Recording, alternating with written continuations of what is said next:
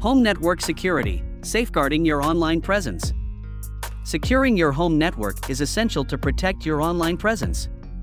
1. Start by setting strong, unique passwords for your Wi Fi and devices. 2. Enable WPA3 encryption, update router firmware, and change default login credentials. 3. Use a firewall, antivirus, and keep all software up to date.